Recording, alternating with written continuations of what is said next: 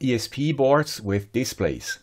Very useful for many projects. They save us some soldering and they are very compact. Which one is best for your project? And which one disappoints? At the end of this video, you should be able to do better buying decisions.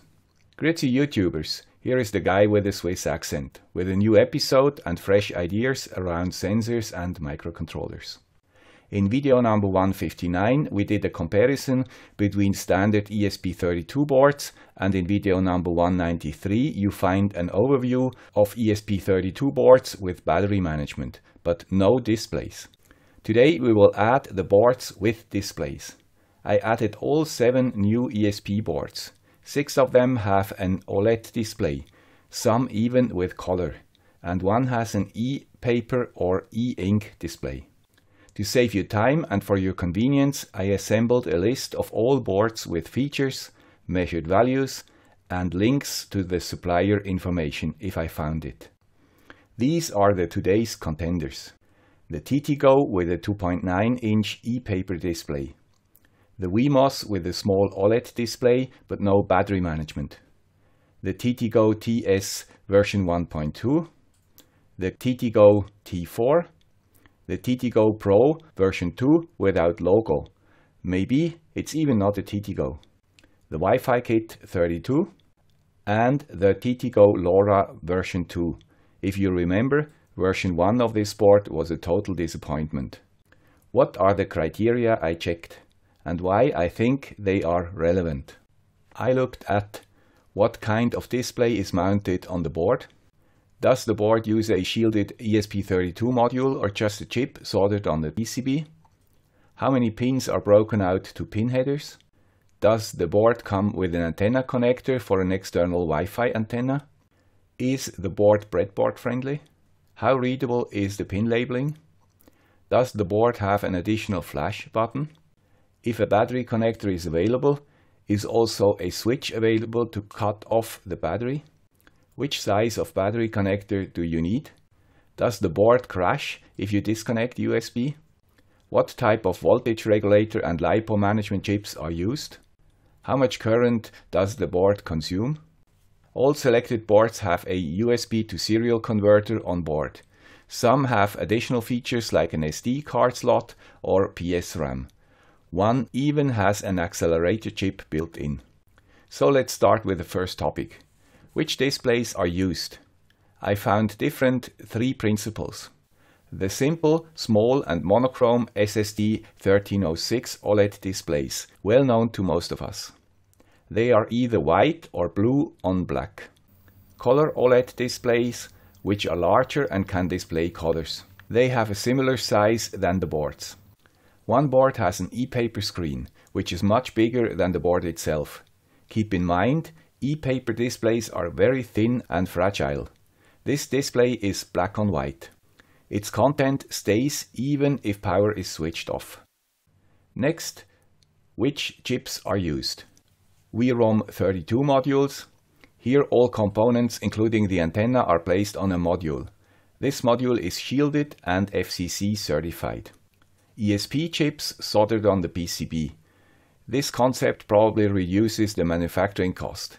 Especially TTGO seems to like this concept. To program all boards, I used the ESP32 dev module board definitions. For my tests, I used two different sketches, one to check the display and one to measure the current. The sketches for the displays are different for all boards because they need various libraries or use different pins for the displays. For your convenience, I posted these sketches to GitHub. Like that, you have a head start. It took me some time to find the right sketches and pins. For the e-paper display, however, I only found a sketch for the ESP IDF, not for the Arduino IDE. You get this board also with smaller screens and there you find sketches for the Arduino. What about the documentation in general? As you see, the majority of the boards are from TTGO. They have proper documentation for their boards on GitHub.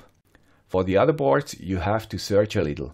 I posted a link if I found something useful, as well as the links to the shops. As always, if you know more, please inform me, and I will update the info. The second sketch is simple. Based on the deep sleep example, I added a delay in the beginning to measure the idle current. Then the board goes into deep sleep and I took my measurement. It does not make a lot of sense to deep sleep boards with OLED displays, because during deep sleep the display has to be switched off or the current consumption would be high. This is why I did not measure this value. The board with the e-paper display, however, is made for deep sleep. You change the screen and go for deep sleep. The display keeps its content.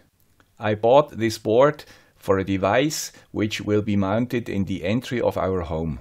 It should display things like how to dress for the weather situation outside during the day and when the next bus or train is leaving. Maybe I will even include the schedule of our waste service I used for the Gitty Machini. Unfortunately, the board, also after removing the power LED, which was always on, still used around 10 mA from the battery. Maybe it has to do with all these power converters. I do not know. But it is a total disappointment. A board with an e-paper display should have a very low deep sleep current. Does any one of you own such a board? Also with a different size of the display? Can you please check its current consumption during deep sleep and come back to me? So currently, this board is an expensive failure. No Arduino driver for the display and a high deep sleep current. I have to postpone my project or search for an independent e-paper display and combine it with a barebone ESP. Next you find the number of pins broken out to pin headers. This is important if you need many connectors for your project. The TTGO boards with the big displays have only a few pins broken out. Please check upfront if you have enough available. Two boards come with U.FL or IPX antenna connectors for an external Wi-Fi antenna. This can save your day if you need more reach for your project or if you want to place your ESP in a metal box. The one with the LoRa module, of course, has an IPX connector for the LoRa antenna. By the way, you shortly will find a full review of this module on this channel. Next you find the information if the board is breadboard friendly. I call it breadboard friendly if it leaves one row of pins on both sides to connect your wires. I also checked if and how the pins are labeled. If the labels are on the bottom side, you cannot read them if your board is on your breadboard. Next, we check if a battery switch is available. Such a switch can be convenient because you do not need to insert your own or disconnect the battery after work.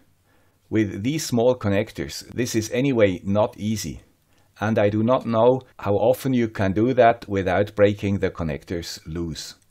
All boards but one use 1.25 mm JST GH connectors. Usually you get connectors with the boards. Unfortunately, there is no standard which pin is ground and which is plus. So always measure twice before you connect your battery if you like your board. If you want to know how to check polarity, you can watch video number 193. If you need more than these connectors, you have two possibilities. You buy empty shells and a good crimper, or you purchase prefabricated wires. Because crimping these small connectors is a pain in the ass, I bought a few ready-made cables in the usual sizes. They do not cost a fortune. Like that, you only have to change the colors using a pair of tweezers if your board has a different layout. The next criteria you do not find in the data sheets. Does the board reset if you disconnect USB power as I do here? This is very important if you want to run your board on batteries and charge them occasionally with a solar panel. Then it is not very good if your board always crashes if the sun comes out. As information, I provide the type of voltage regulator and LiPo management chips where I know them. In this context, I want to thank the viewers who provided missing information after the last video. As the last step, I measured the current consumption by the entire board without anything connected to it and without Wi-Fi. As expected, Bigger displays need more power. The battery values can differ from the USB values and usually are more important as they directly influence the autonomy of your project. A word to PSRAM or SPI RAM. This is an external random access memory chip of up to 4 MB. So far, this memory cannot be used by standard Arduino IDE and is probably also not needed for regular projects. If you use MicroPython, this RAM seems to be very valuable. Python, other than C++ used in the Arduino IDE, does not use a compiler on your PC. Instead, the source code and some sort of bytecode is stored on the ESP board itself. And because you can change code during development, it is not stored in flash memory but in RAM. This is why you need more of it. And with the right version of MicroPython, you can use PSRAM. We will look at these things when we look at MicroPython. By the way, I updated now the values for board number 2. After I killed mine in the last video, I got a new one which works fine. Summarized, this is the third overview on ESP32 boards and covers boards with displays. We found boards with small monochrome and large color displays and even one with a large e-ink display. Each board needs a different display library or at least different pin definitions. All but one board also have battery management for LiPo batteries on board. It does not make sense to use Deep Sleep with OLED displays. If you need Deep Sleep, e-paper displays should be the right choice. Unfortunately, the only board with e-paper display disappointed with a lack of Arduino driver support and a high deep sleep current. The prices of these boards are at least double the amount of a standard development board. But they are quite convenient and they also fit in little boxes. Most of the boards do not crash if you disconnect power from USB, so you can use them in mixed operations with battery and mains or solar power. Now it's up to you. Look at the Google spreadsheet and apply your filters. I'm sure you will find the board which suits your project best. I want to thank all my supporters on Patreon for supporting the channel. Without you, it would be difficult for me to make such quite expensive comparisons. Bye!